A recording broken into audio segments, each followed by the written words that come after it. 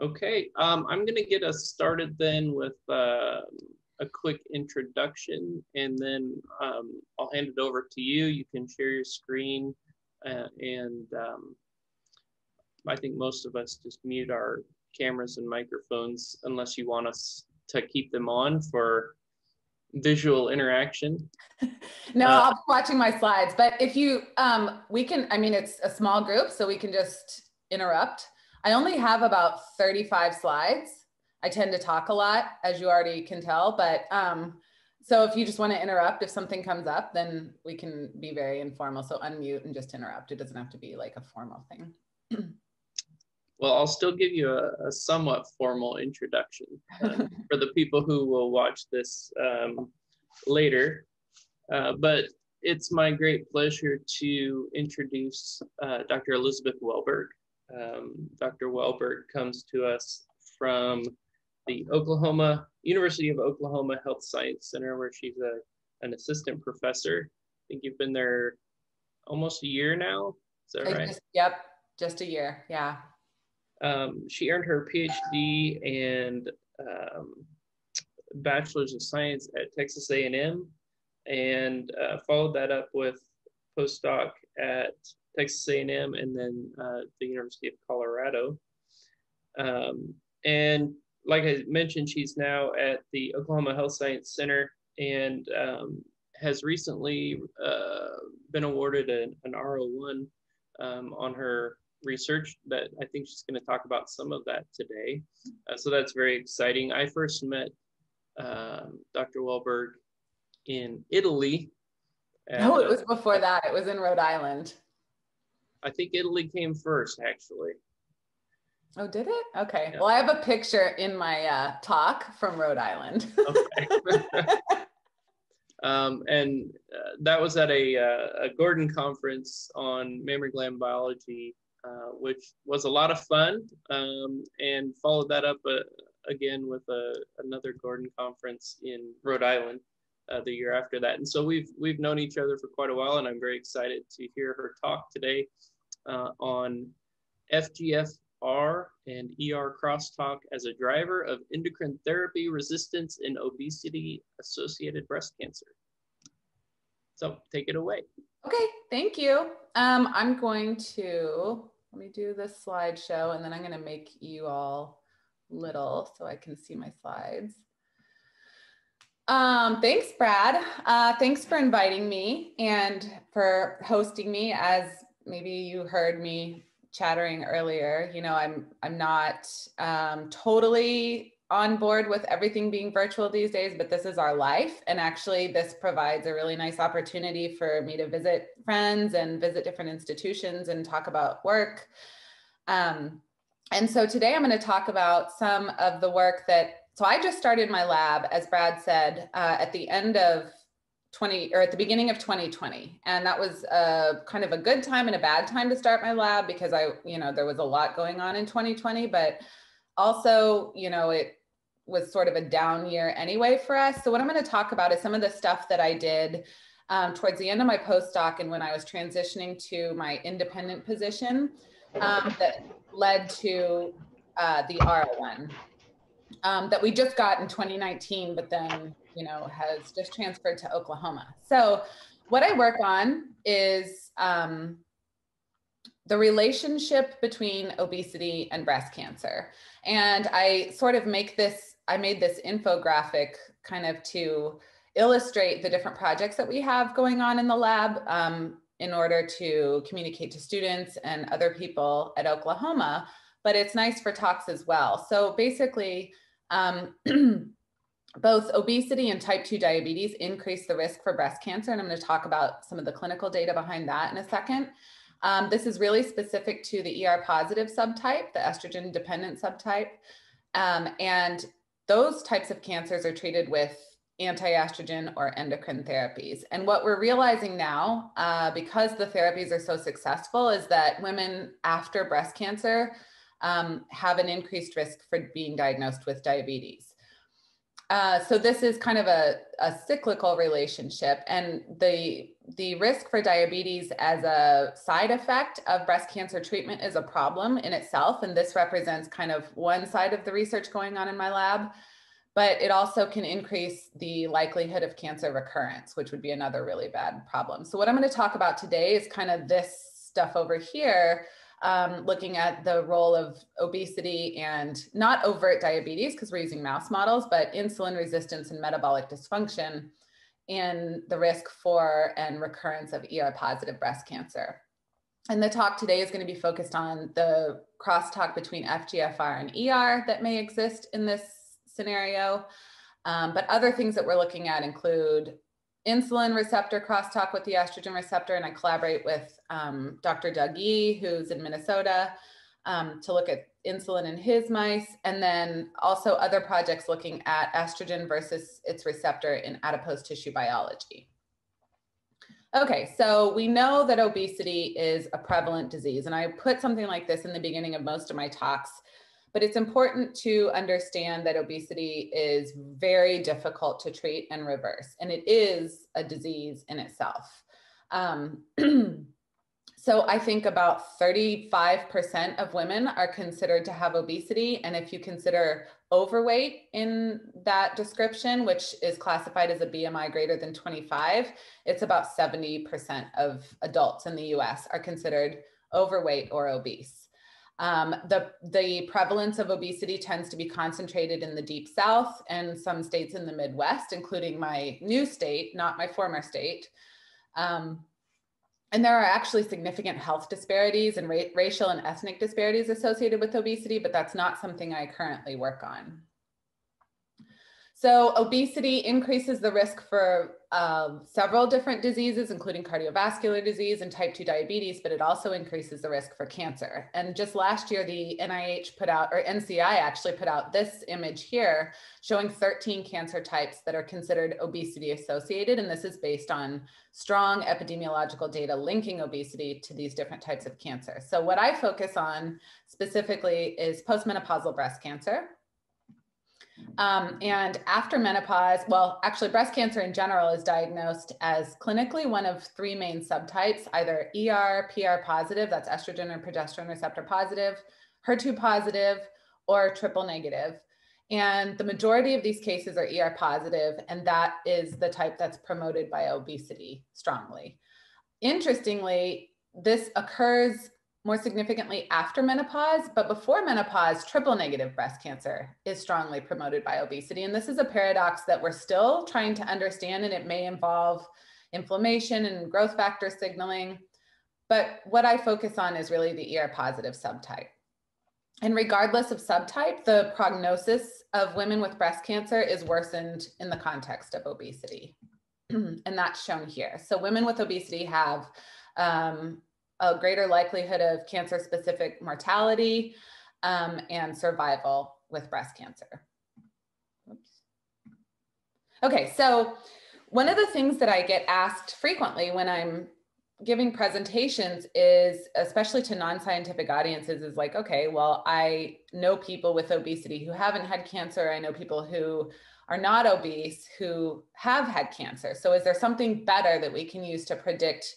Breast cancer risk specifically than just simply obesity, which is defined based on BMI, and that's your weight compared to your height? And the answer is yes. Um, I think so. Uh, two of the things that I'm going to talk about specifically today are metabolic health and weight gain. So, metabolic health refers to how your body processes glucose and how it responds in terms of producing insulin and clearing insulin, how all of these organs interact to um, promote nutrient availability to tumors and uh, mitogens such as insulin and growth factors. And the other thing that is potentially a better predictor than just simply looking at BMI is whether or not the BMI is stable. So adult weight gain is actually a significant predict predictor for breast cancer risk in women.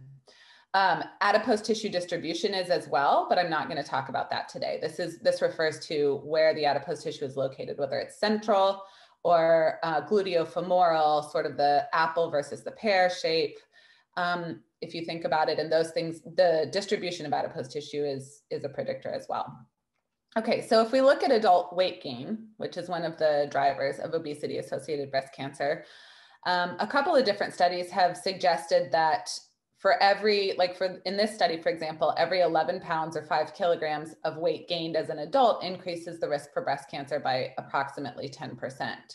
And another study showed that um, they looked at adult weight gain by BMI category and found that the highest risk for breast cancer was seen in women who were normal or considered overweight as young adults and then transitioned into the obese category as older adults. And so I illustrated that here, showing that over time, even though people might end up at the same BMI, the higher risk is seen in individuals that increase their BMI over time rather than those who stay stable um, even if they have excess body mass uh, as young adults, which is really fascinating to me. So the other component of this is what we call metabolic disease. And this is kind of a, one of those vague terms that especially if you work in the endocrinology field people get upset if you use a vague term like this but what i'm referring and it's measured differently. But what i'm referring to is essentially insulin resistance or hepatic steatosis or glucose intolerance basically pre-diabetes not overt diabetes but a, a metabolically unhealthy state um, is something that's associated independently with breast cancer risk from simply being overweight or obese. And so each of these three studies illustrates that, showing that the highest risk for breast cancer is seen in individuals that are considered either overweight or obese and are considered metabolically unhealthy. So when I was a postdoc, we I uh, worked um, on a, in a breast cancer lab looking at cancer tumor metabolism, but I also collaborated with people that were studying uh, obesity and postmenopausal breast cancer in a rat model. And we called ourselves the Fat Rat Group. Um, it had some really great members of it, some people who have moved on, um, but remain close colleagues. And essentially, the basis of this rat model kind of got me started developing my own research program. And it was based on this diet induced obesity model. Um, OROP stands for obesity resistant and obesity prone. And we use that term because we use a high fat diet and then because the rats are outbred, they naturally sort of split into this bell curve and we collect the top and bottom tertiles as obesity prone or obesity resistant, and those mature into obese or lean um, rats, respectively. The, this is an MNU model of mammary carcinogenesis. So we dose the animals with a chemical carcinogen and we specifically choose the time point that's during puberty when the mammary epithelium is rapidly proliferating and this enriches for mammary tumors that develop um, from exposure to this carcinogen. So in this model, we perform ovarectomy surgery which models menopause. It's not a perfect model, but it is a really good and clean way to remove ovarian hormone production. And then we've done a lot of different studies in this model, including um, focusing on energy balance, using whole body calorimetry, and performing interventions one of the things that we identified from this model was that there's a three week, three to four week period of rapid weight gain that occurs right after OVEX. And this we decided is analogous to kind of the menopausal transition and the energy imbalance that occurs during that time. Um, and we found that that was actually very meaningful for these cancer outcomes. So using calorimetry, we're able to separate animals based on not only their obesity status going into sort of the menopausal transition, but also on their energy balance that is occurring after menopause. And then, as I mentioned, we've performed interventions during this time point, anywhere from three weeks to up to 20 weeks after OVX. Um, with the goal of preventing tumor progression because these animals have tumors existing at the time of OVX and also they'll develop new tumors so we can look at risk as well. Um, so what I'm illustrating here is that, you know, the lean rats, everybody gains weight, you know, during their linear growth phase, and then they sort of plateau. The obese rats are heavier than the lean, or the obesity prone are heavier than the lean. But both groups of animals, this is looking at the four week period following OVX, both groups of animals gain weight following OVX. And when we measure their energy balance using whole body indirect calorimetry, in Colorado we did this, during this three to four week period, some animals overeat just a little bit. So this is a low energy excess, and some animals overeat a lot. So this is a high energy excess. And this occurs regardless of whether the animal is lean or obese. So if you think about obesity as a risk factor, and also you think about weight gain and metabolic dysfunction as risk factors, this model provided a very nice way for us to look at those things a little bit separately. And we found that, okay, so um, we can match the animals for their energy balance during menopause. So we found that um, following long-term following OVEX, as is seen in um, epidemiological studies, the obese females had fewer tumors that regressed. So they had few tumors that fewer tumors that shrunk compared to lean. They had more tumors that progressed and they developed more new tumors.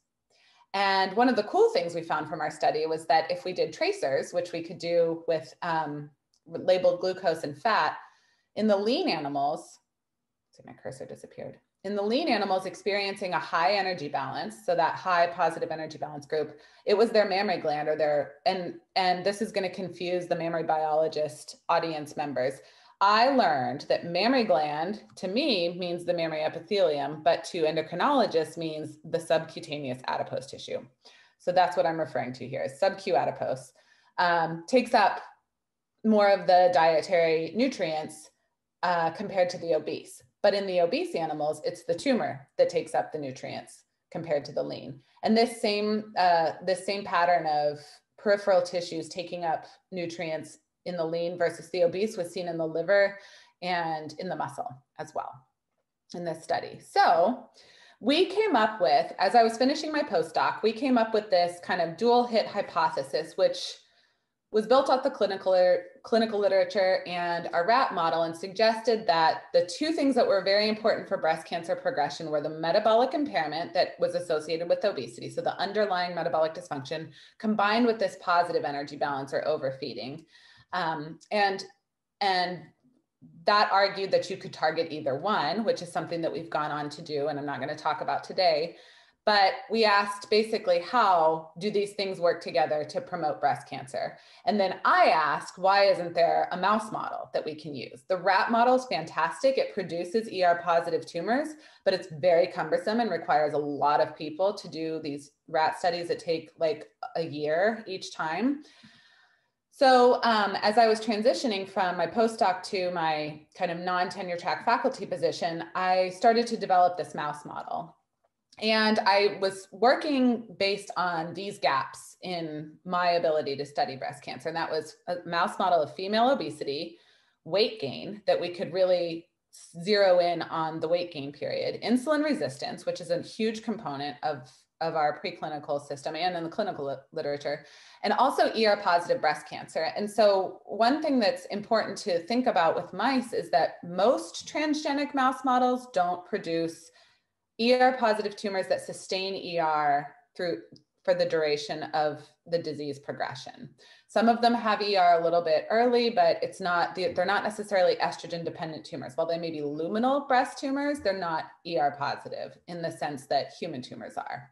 And so we I wanted to develop a model to help us understand the mechanisms of how all of these things work together and also to allow us to test interventions um, that could hopefully be translated to the clinic one day. So I've developed this, I call it the DIOX model, diet induced obesity xenograft. And I had to do a little, a couple tricks because to use a xenograft model, which was required to do ER positive breast cancer research, um, we had to use immune compromised mice. And immune compromised females are a little bit resistant to diet induced obesity. Obesity. So we um, basically took some some advice from the obesity field, the sort of obesity and diabetes community, and we use thermoneutrality to promote obesity in our mice. This is not my paper, but it's a paper that came out a few years ago that talks about the concept of warming the mouse to model human diseases. So we did that. And the, this is based on the idea that standard housing temperatures for mice in a standard vivarium are too cold for the animals and they're under chronic cold stress um, and they burn a lot of their excess calories for warmth instead of storing them for fat. So we were able to warm our cages such that they they ended up right here in the middle of this thermoneutral zone for mice, which ranges from like 28 to 33 Celsius. Um, and here you're looking at, so this is high fat, high sucrose diet compared to low fat, low sucrose. And the high fat is actually 40% fat. It's not like really high fat. Um, and the mice are on, when we put the mice on their diets, we didn't notice a huge increase in body mass until we started warming them, right here, shown by the arrow. And the body composition um, on the left, this graph is lean body mass, and on the right is fat mass, body fat percent. Lean body mass was influenced by diet, but not by warming, before and after warming, but fat mass was. So the high fat fed females increased their fat mass after warming.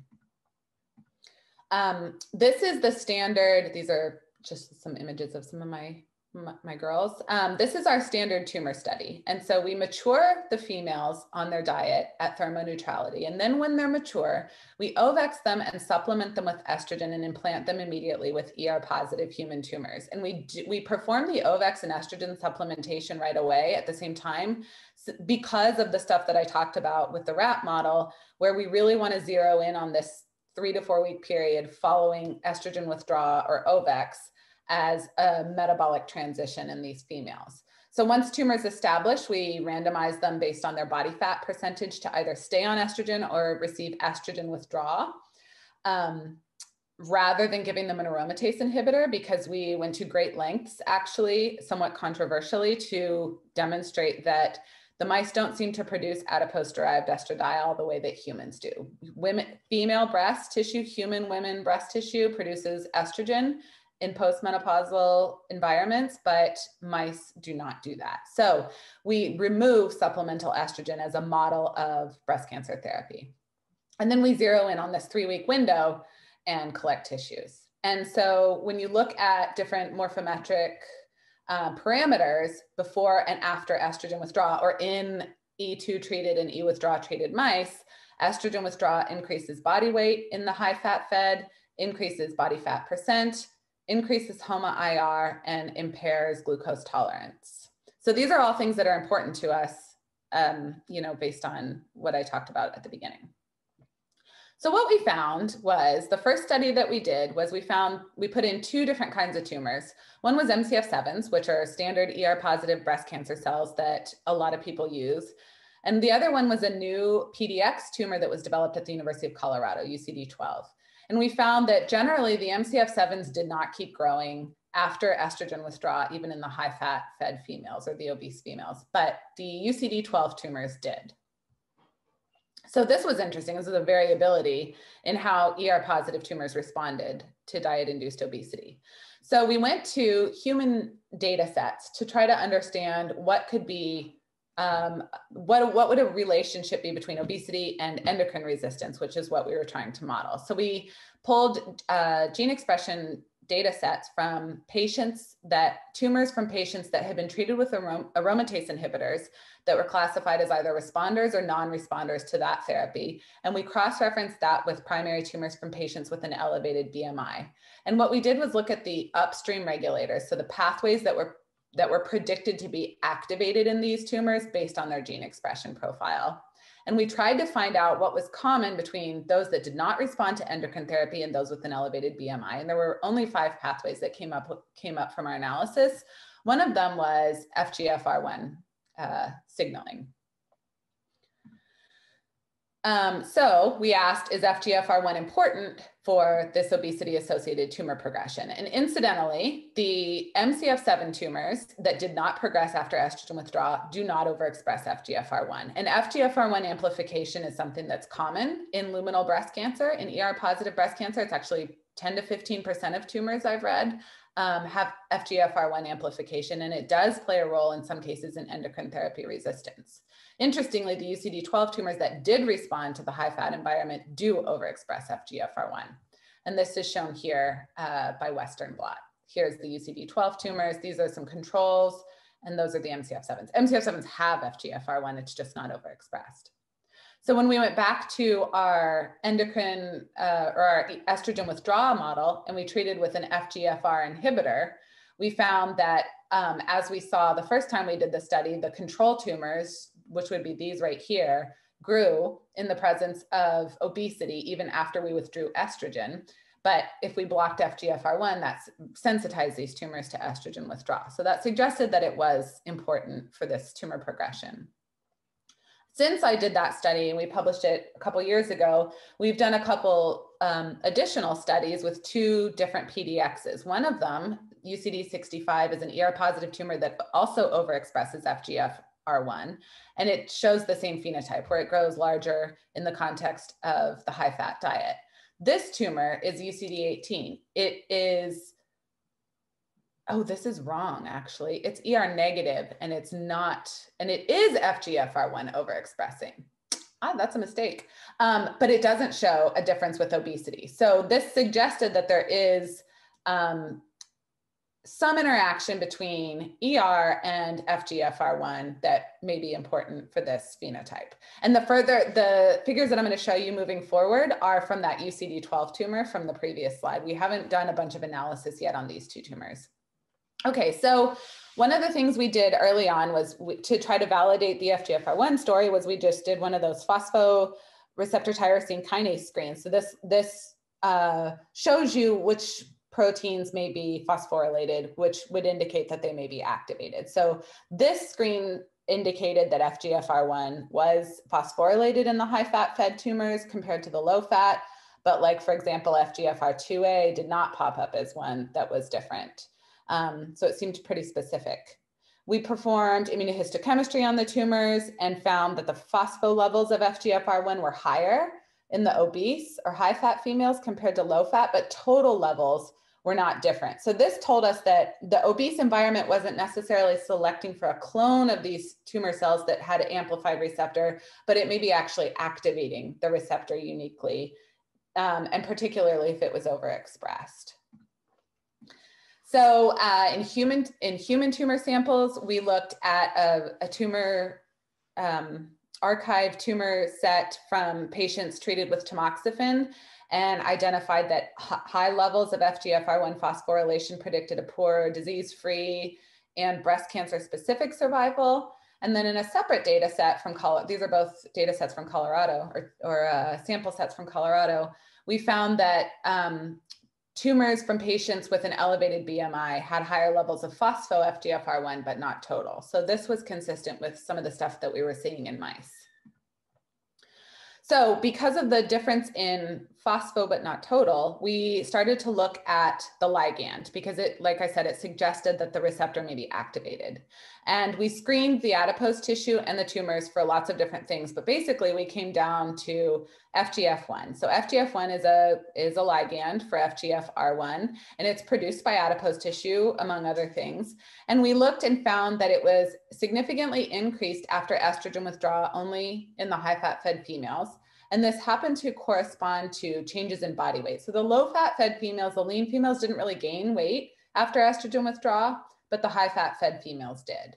And we looked at adipose um, adipocyte size distribution. This is the subcutaneous adipose or the breast, the mammary adipose, and found that the largest adipocytes were seen in the high fat uh, fed e withdraw females.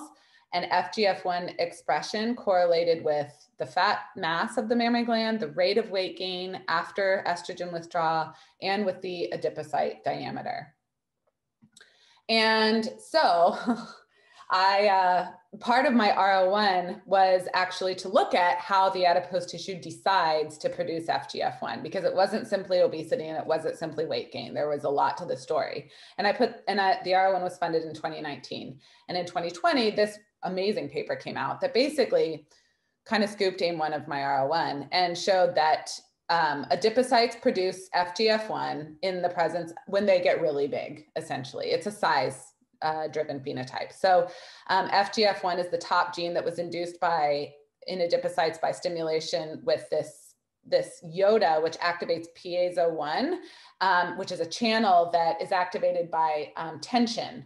And when the cell gets really big, essentially, the channel opens and then growth factors can come out of this channel from large adipocytes and they essentially stimulate that's what's shown here in this figure it's a complex figure but they stimulate the expansion of the progenitor compartment to allow new adipocytes to form. So when you knock out piezo1 or basically when you when you don't produce FGF1 you end up with these hypertrophic adipocytes that can't stimulate new cell formation. So beautiful paper um, and really provides a nice link between the concept of weight gain and obesity and impaired adipose tissue expansion and FGF1, which I think is important for breast cancer progression in this environment.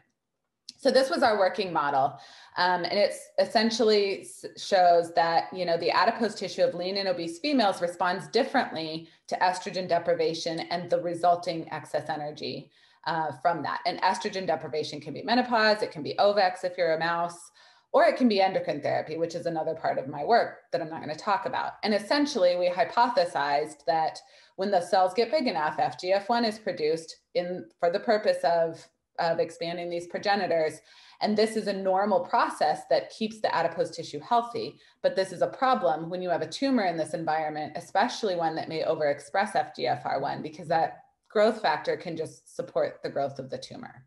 And so this is what, uh, this is the other part of my R01 that we're focused on. So our hypothesis was that FGF1 allows the tumors to maintain dependence on the estrogen receptor um, even when estrogen's not there, because that's based, that's kind of what we were observing um, in vivo. So the concept of FGFR ER crosstalk is not new. I'm not the first one that, that came up with that. Um, it's so FGFR and ER crosstalk is already associated with endocrine resistance. It just hadn't been associated with obesity. Um, and there's a couple of different papers. One of them, one or two of them suggest that perhaps this crosstalk may involve direct interaction between FGFR and ER or between a portion of FGFR that's cleaved and can interact with ER. So FGFR is a cell surface receptor, ER is a, is a nuclear receptor, transcription factor. Um, but what we've shown is that ER positive tumors that overexpress FGFR1 some in some cases progress after you lose estrogen in obese mice. And um, we also showed in our 2018 paper that FGFR1 phosphorylation associates both with endocrine resistance and with obesity. So this is what we're really um, kind of exploring in our in the lab during our first year for in real life. Um, our first real lab year. So one of the things that we looked at was so ER is is a steroid receptor, nuclear hormone receptor, and it's activated by phosphorylation. And this one of the sites that it can be phosphorylated on is serine 118. This is by far not the only site. Um, but there is a database that's available that you can actually look at proteomics and how those predict patient outcome. And interestingly, we found that elevated phospho ER, serine 118, predicts almost significantly a shorter overall survival for patients with ER positive tumors and also with ER negative tumors, which is really interesting because ER negative tumors aren't supposed to have ER. But one of the things that happens when estrogen receptor is phosphorylated and activated is it's downregulated. And so there are some people who think that. Um, you know, tumors with really low expression of ER may, it, it's possible that they have activated ER. And this uh, kind of concept has been established also for the progesterone receptor. So this is consistent with our hypothesis, although unfortunately this data set doesn't have BMI associated with it. So we can't say anything about obesity, but we can say that activated estrogen receptor is not necessarily a good thing for patient survival. So the questions that we're asking right now are, um, does FGF1 activate the estrogen receptor? Is this something that depends on whether the, the model is endocrine resistant or endocrine sensitive? If it's normally a model that responds to estrogen deprivation the way it should, um, does that mean it doesn't respond to FGF? Uh, and also we're asking, is this something that depends on FGFR overexpression or is that just something we stumbled on that happens to be unrelated? And importantly, what is the outcome of FGF1 mediated ER activation? And I'll get to that towards the end. I, we don't have any real good data on it yet, but we're asking. And one of those things that we're asking is the gene expression signature, for example, from FGF1 dependent ER activation different from that of estrogen? And that has some translational implications. So one of the experiments we did was we, um, we did a proliferation assay in the presence of FGF1 or ICI. So ICI is ICI 182780 or fulvestrant. And this is a pure estrogen receptor downregulator. And we found this is in um, UCD12 cells. So we from, from some of our PDXs from Colorado, we actually have matched uh, 2D, 2D like dissociated cells. So it's a really nice model system where we have the tumor piece itself that we can grow in vivo, but we also have a cell line that we can do in vitro experiments with. And this is from one of those. So FGF1 increases proliferation in these cells, and the proliferation can be blocked by blocking the estrogen receptor. And this is in the absence of phenol red, in the absence of serum with its fully stripped serum, um, and no exogenous estrogen. And we've also shown in cell lines, so the, the PT is the cell line designation for these PDX tumors. UCD is actually the tumor designation. So PT12 and PT65, and we've done both of these studies in vivo with the tumor chunks, um, that estrogen, or sorry, that FGF1 increases uh, activation or phosphorylation of the estrogen receptor um, in both cases. And um, so does estrogen, basically. So essentially, FGF1 does the same thing to these cell lines that estrogen does, which is really interesting. So then we, when we got, so this was all done in Colorado. Then we got to Oklahoma, excuse me, and we got a hold of some tamoxifen resistant MCF7 cells. So if you remember that I told you a few slides ago, the original sort of parental MCF cell line did not continue to grow in the presence of obesity. So it just sort of stayed the same. Some tumors shrunk, some tumors maybe grew a little bit, but overall there was not an obesity effect. And I don't, I can't tell you anything yet about whether the tamoxifen resistant cells grow in obesity, but I can tell you that when they become tamoxifen resistant, we see an increase in um, FGF1 mediated phospho ER, which is suggestive that it may activate the receptor.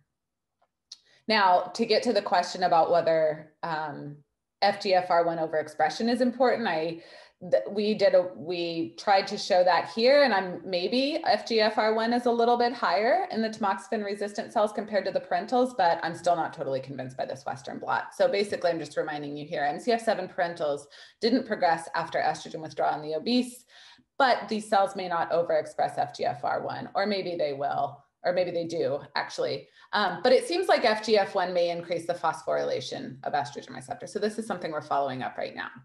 So the next thing that we started doing is experimentally overexpressing FGFR1 in those parental cells because the difference between the parental MCF7s and the tamoxifen resistant extends far beyond whether they overexpress FGFR1. And we really had the question of whether FGFR1 overexpression was sufficient to confer FGF1 response um, in terms of estrogen receptor phosphorylation. And the answer is it's not.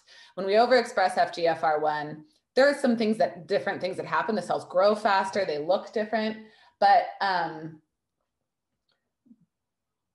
but basically, uh, they do not respond to FGF1 stimulated ER activation.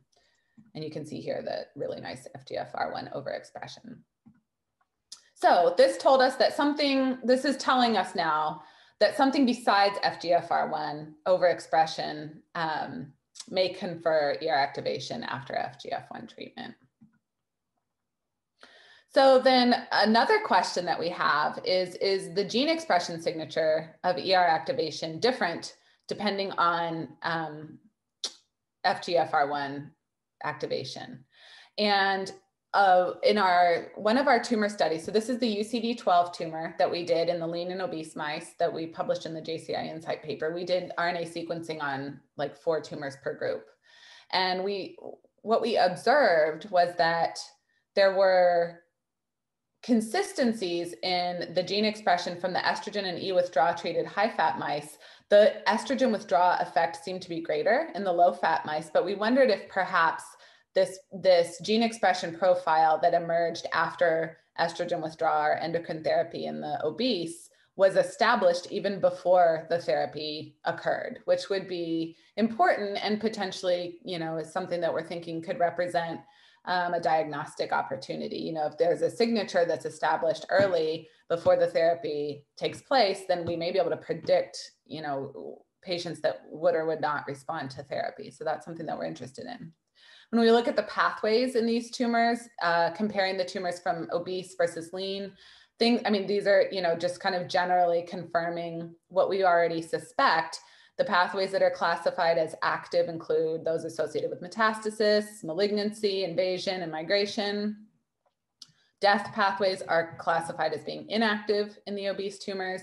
And then the upstream regulators, as I showed you before from some of the human data, um, include growth factor signaling pathways, including FGFR1, not surprisingly is predicted to be active, which is we've we sort of validated. Um, and then FOXA1, MYC, FAS were things that were presumed to be inactive.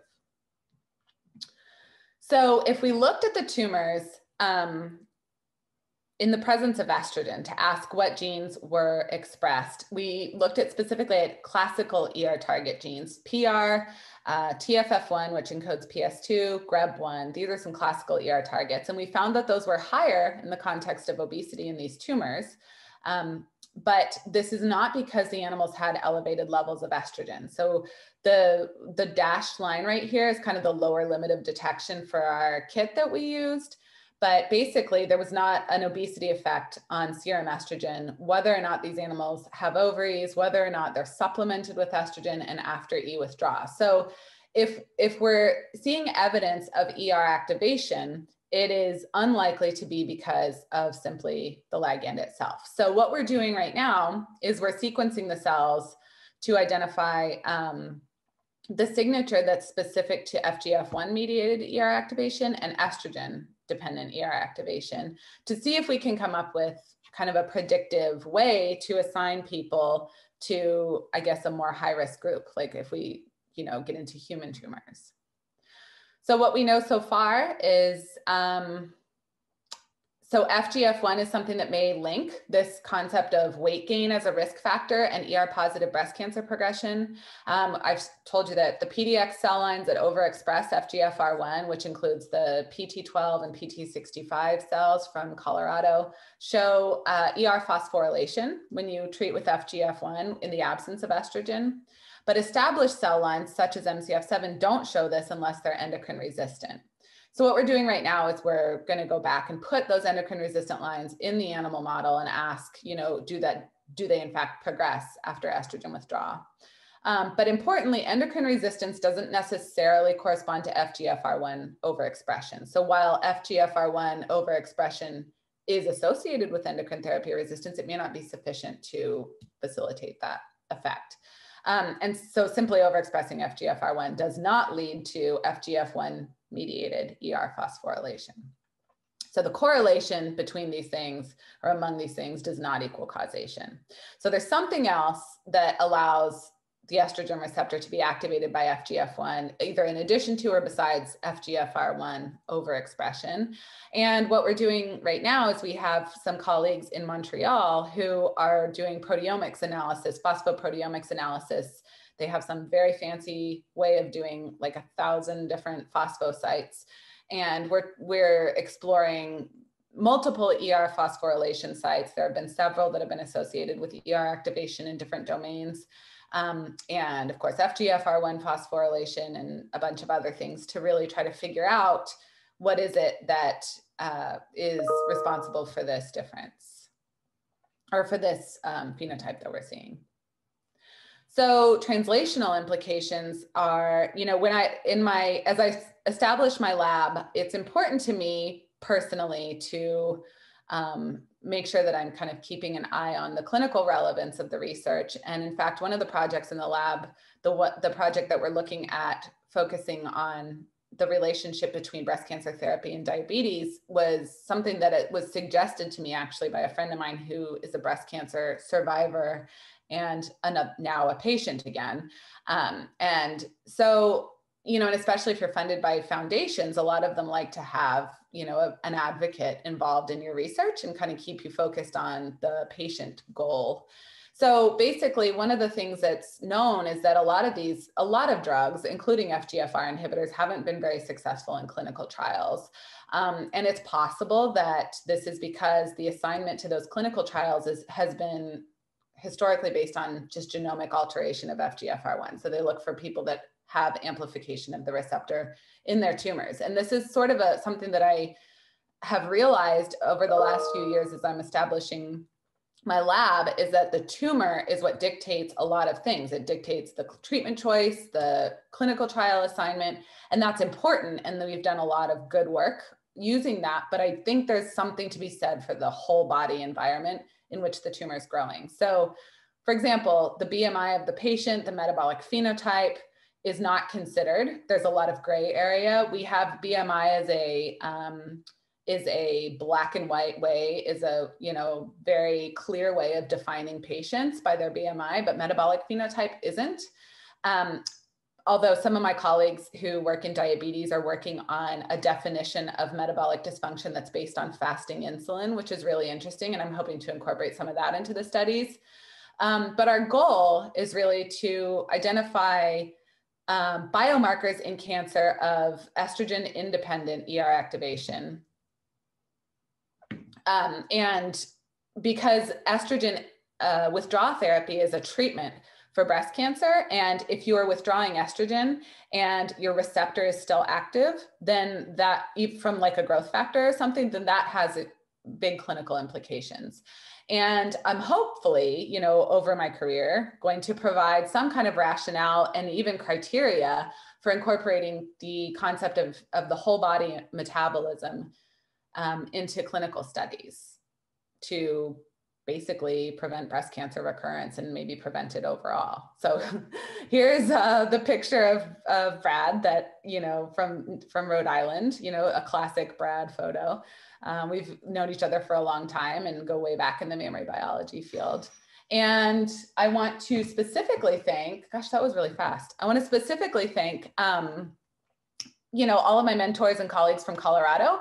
Uh, but really, I want to point out Stevie, who we were talking about earlier, and Marisol, who joined me from Colorado. These ladies took a chance, moved with me to a new institution during a pandemic, and have absolutely worked themselves to death to set up the lab and get all of our studies off the ground. And I'm happy to answer any questions or, you know, chat more about this work. All right. Thank you so much. That was wonderful. Um, I see uh, Dr. Agbas has his hand up virtually. Okay. So I'll start um, with him. I, let me put you guys back on gallery so I can see everybody. Oop, hang on. I couldn't see. Okay. All right. I can see you. Hello. Do you hear me? Hi. Yes. Okay. Thank you very much, Dr. Welberg, so uh, sharing with us your, your science. It's really nice. I have a quick question. Uh, you have said that uh, during the menopause, so not much uh, estrogens are available, but the E are, are active. Estrogen receptors are active. So some of the stuff can be specifically or non-specifically binds and uh, uh, the uh, triggers the signal transduction. I was just thinking that is there anybody or you were thinking about the using the ER antagonist ligand to silence the ER activity so that the yeah, there is no ER uh, available because of the, I mean, the estrogens are available because of the um, uh, menopause, but the ERs are active. Let's just silence them with the antagonist. It will bind and silence, but not signal transduction will be, signal transduction will be transmitted. What do you think?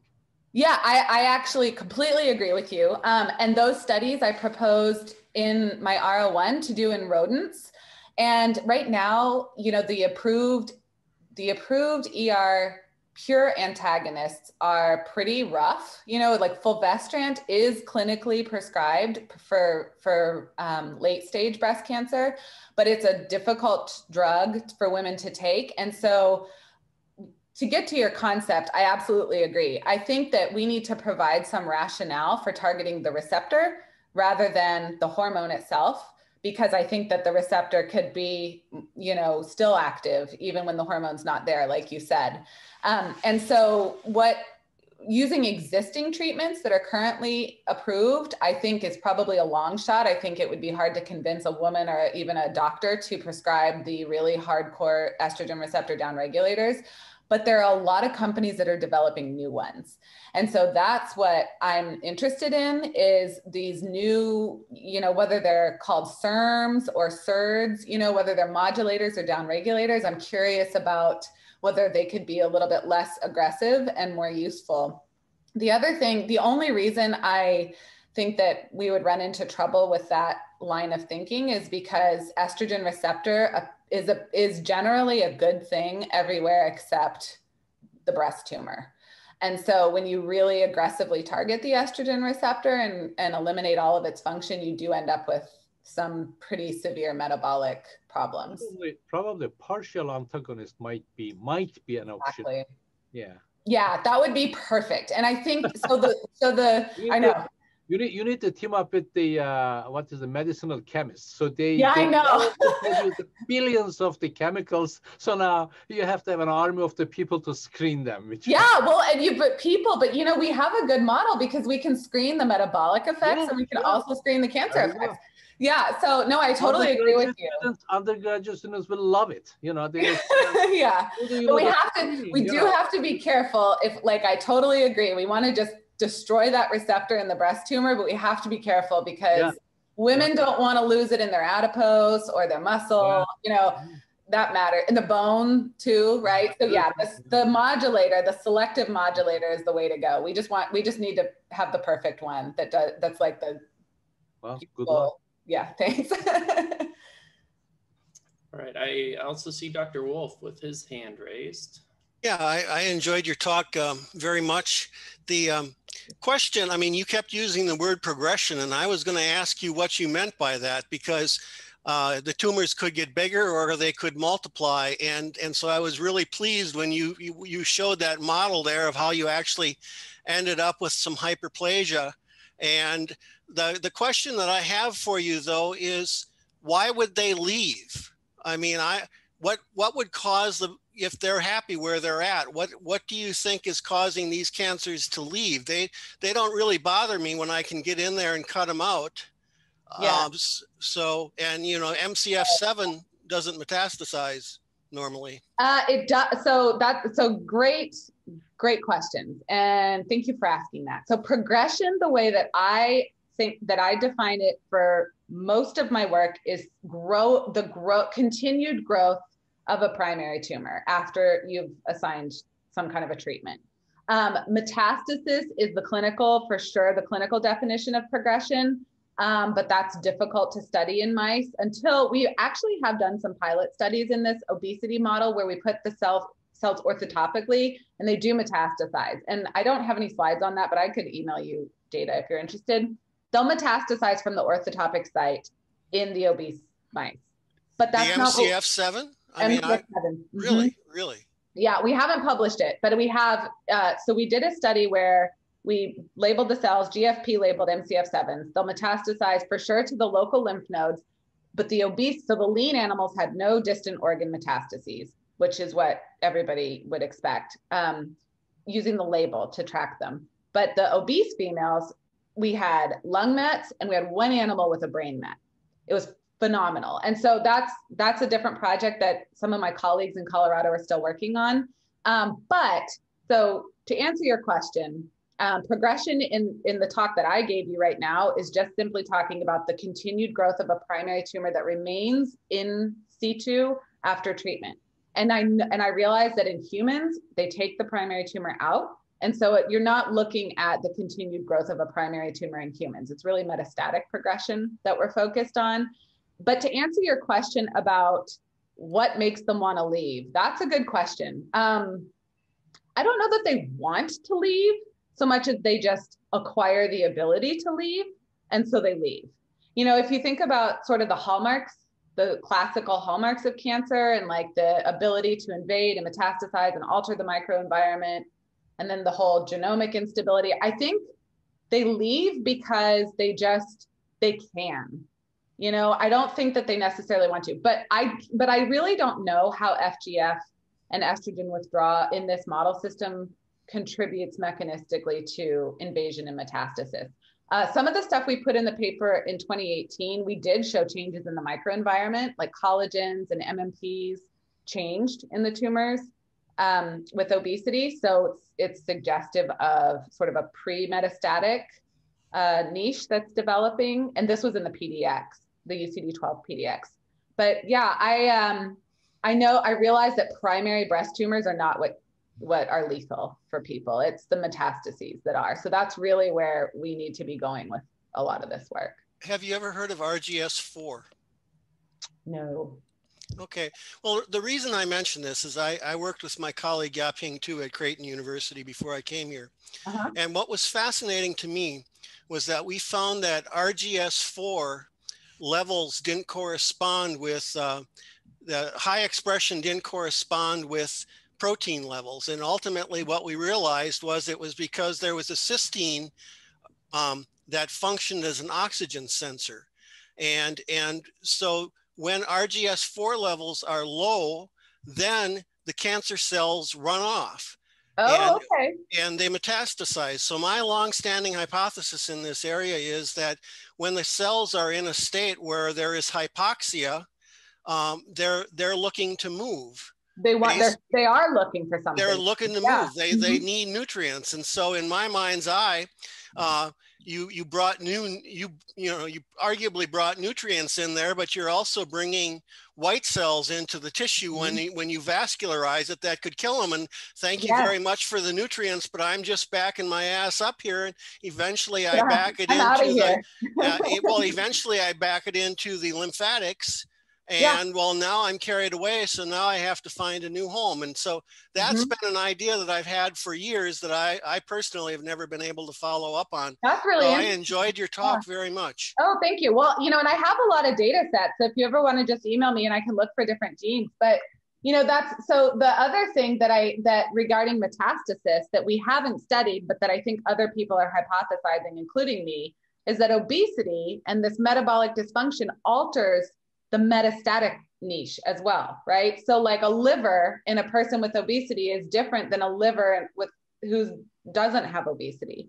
And so there might be some pull from the peripheral organs too, you know, to facilitate metastatic implantate or like metastatic outgrowth. And I don't know anything about that. I, that's yeah, not what I we're, We're big on G protein coupled receptors. So another thing yeah. that we, we did research on was um, um, PXR1 Okay. No, uh, on PREX one, not PXR one. Okay, just like, I don't know that one. But, yeah, well, so so that was kind of like eyes, and so in in one population of cancer cells, all we did was transfect it, and we had cells that metastasized when normally they stayed home, and so the idea in my oh. mind's eye was that that happens to function as a combination of a GPR uh, modulator and a, a, a, I guess growth factor modulator. Yeah. But the idea that when you had uh, a coincidence detector that it would direct you.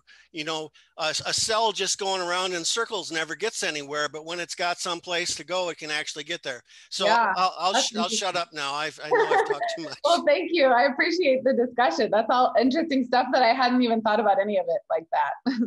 thank you. Uh, Dr. Staudinger.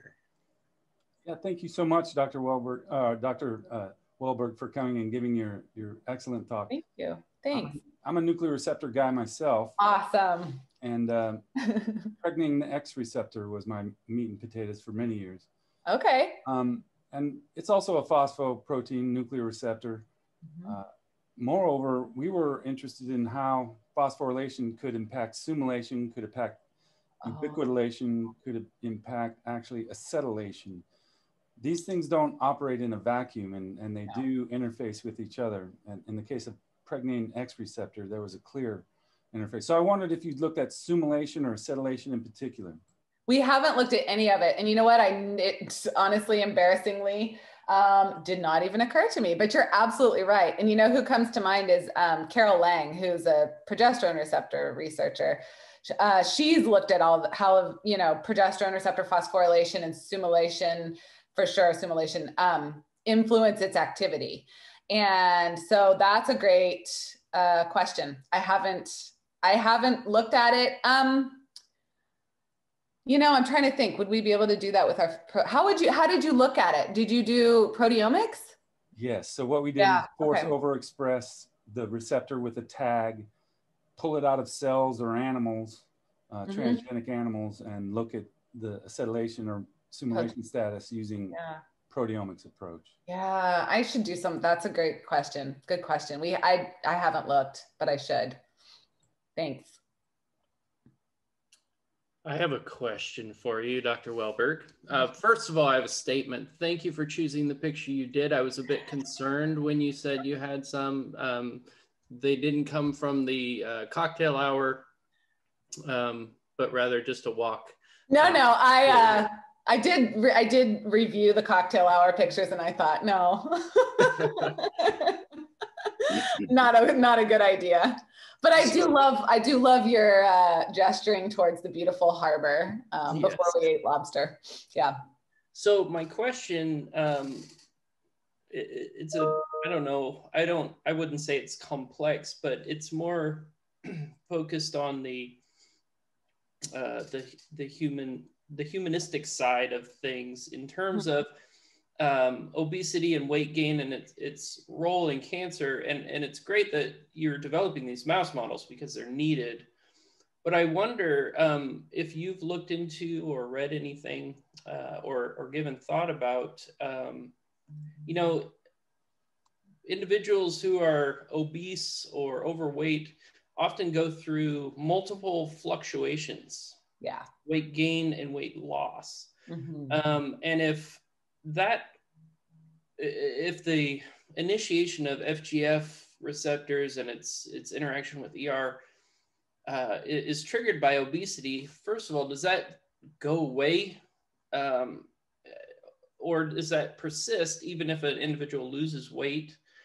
Um, and second of all, does that influence the tumors that could eventually be caused by uh, or or influenced by obesity?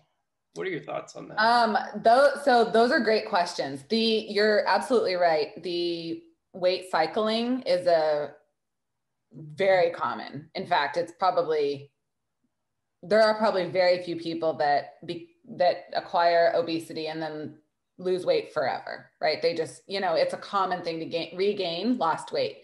And the biological drive to regain lost weight is incredibly strong. And there's a whole field of people that study what is it about that. Um, what I know about, at least for the adipose tissue, is that there is some evidence that in some animals, so let's say you have 100 animals and they all, you put them all up to obesity and then they all lose weight in like 30 to 50% of those animals, there will be this like memory in the adipose tissue. And it's really strongly characterized by inflammation, by immune cell infiltration. And so, um, and I don't know, that's not really my area. So I don't know really about that. But what it tells me is that within the, even as there is a spread of metabolic function within within the category of obesity there's probably a spread of inflammation and a spread of persistence that is that we don't know enough about and how to pick out who will have that obesogenic memory and who won't. So there is the possibility that for some people it is somewhat some of those effects are lasting. As far as fgf being one of those lasting effects i don't know for sure. Um, it seems the data that we have right now suggests that FGF is really strongly associated with very large hypertrophic adipocytes.